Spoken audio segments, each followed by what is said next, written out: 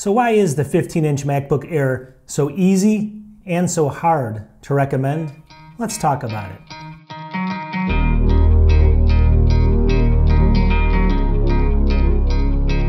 Welcome back to the channel. So if you have not been under a rock lately, you know that the brand new 15-inch MacBook Air came out. Now, what I want to do in this video is there's a reason why I would recommend this and there's a reason why I would definitely not. And that's kind of what I wanted to cover. So I've made a couple videos in the past on this, but really what I wanted to do is kind of clarify that and then give you my opinion, all right?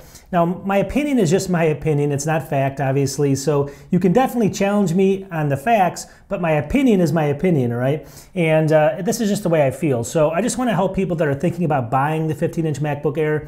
And uh, from my standpoint, I think there's a really good reason why you'd want to pick it up, and there's a couple of reasons why you may not want to pick it up, and that's what I'm going to go through. So stay through and through the whole video, because at the end there's going to be some twists and other things like that. You may want to find out if you're thinking about buying this thing. So without further ado, we're going to get into it. The 15-inch MacBook Air. It's both easy and really difficult to recommend. All right, so the reason you might want to pick this up, the 15-inch MacBook Air, and this is the kind of person I would recommend doing it, all right? The person that is not doing 4 and 8K edits every week, the person that just uses this for email, you know, basic work stuff like Word documents, things like that, multiple tabs open, maybe 15 or 20 tabs at once. That kind of a user is perfect for this, and that's perfect for the base model. So if you're thinking about, if you're that person out there and you're not doing like crazy editing or anything like that, Xcode or anything, you definitely want to think about the base model. You can get it for $12.49 right now. So what does it come with? Number one, let's just go through some of the positives and why you'd want to pick this up for $12.49. The price, obviously. Great price, incredible value for what you're getting. Compared to Windows laptops, you're always going to get, you know, some other ones, people out there saying it's worse, what have you. But it's going to be, you know, it's hard pressed to say that it's, it's worse than most of the other ones out there. So it's actually a really good value for the money.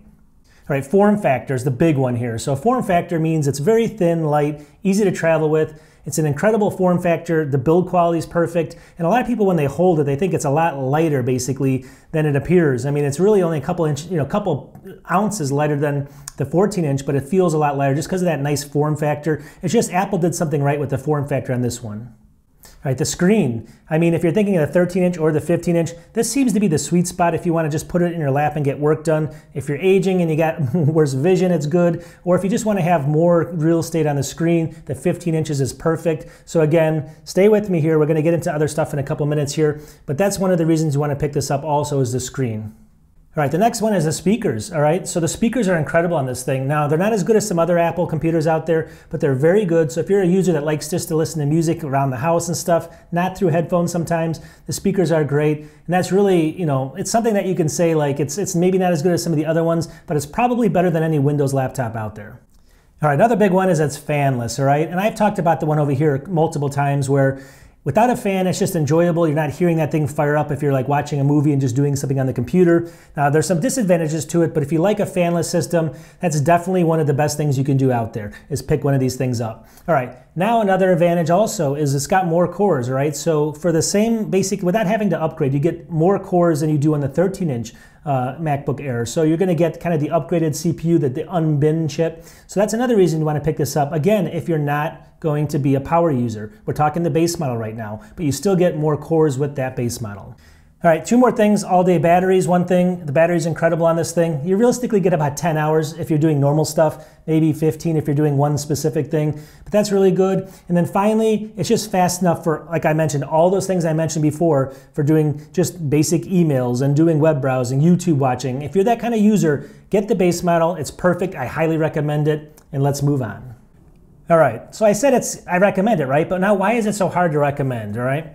So it's hard to recommend if you're somebody that's not that person. If you're some person that likes to do 8K editing, 4K editing, any type of video editing, you know, Xcode uh, development, things like that, in this day and age, 256 gigs of SSD space, including the slower stuff, and 8 gigs of RAM is kind of unacceptable, right? It's really unacceptable at this point, and it can't really push, you know, a lot of things at once. I mean, it's something that you know, it can do a lot, but it can only do so much, right? And what I wanted to kind of show people here, you know, if you're gonna just try to get the base model and you're somebody that's just not that simple user, you're gonna run into some problems. And don't take my word for it. Take a look at someone, you know, there's other big YouTubers saying the exact same thing. Let's take a look right now. Because once you, let's say, let's say you do wanna, you know, edit the occasional iMovie in 4K. Right? It's doable, but it's relatively slow, and you have to make sure that you only have that open. Because absolutely the same could be said about any heavy task like photo editing, music creation, 3D, any power-intensive task can cripple this Mac pretty badly. My review model, again, it's the base model, right? So it has 8 gigabytes of memory, it has 256 gigabytes of storage, but if I wanted to edit something like multiple 4K streams in Final Cut Pro, having that 8 gigabytes really does slow me down. Right, and they're not the only ones saying this. I mean, Max Tech said it. A lot of people showed examples of where this thing can kind of fall apart with the base model, right? But it's perfect for other simple tasks. So obviously you can upgrade this, right? You can upgrade it to 512 gigabytes, you can upgrade it to 16 gigs of RAM, and then here we start running into issues. Now, not, not in performance, all right? Once you do that, the SSD gets faster, the RAM is better, and this thing's gonna, you know, it's gonna be kind of challenging almost the uh, 14 inch, M2 14 inch MacBook Pro, right? It's not gonna be exact, but they showed examples, like, like again, Max Tech and everyone else, if you, you'll find them if you search for them, but they're showing one-on-one -on -one examples, and the thing holds its, it holds its own, right? It's one of those things where obviously you can do it, you can upgrade everything, but now you're up to 1,699 bucks, right? 1,699 bucks. And the 14 inch is basically going to be either around 1749 on sale, and that's for the M2 version, mind you. The M2 is only that expensive if you find it on sale.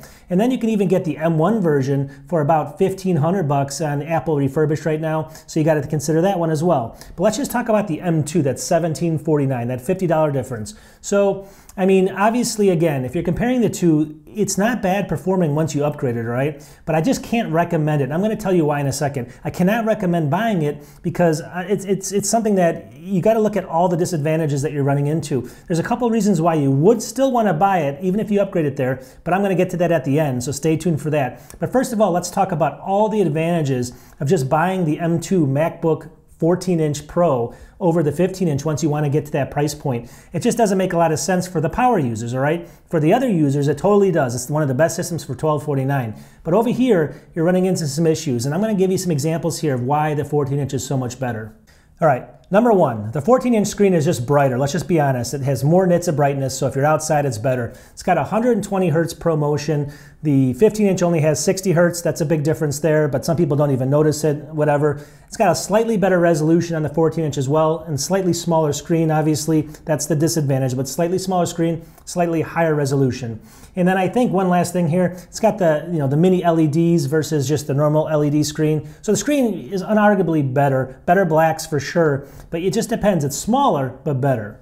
All right, ports. That's something we talked about before as well, but let me just go through them really quickly. I'm going to look over here. On the 14 inch, you get a lot better ports, all right? You get the SD card slot, which is way better, obviously. You don't have to bring a dongle with you anywhere you go if you're doing video editing. Again, this is for video editors and things like that, these more power users. You also get the HDMI port, and that's a great option as well if you ever need it. Some people don't need it. 3.5 millimeter headphone jack, that's the same as a 15, no advantage.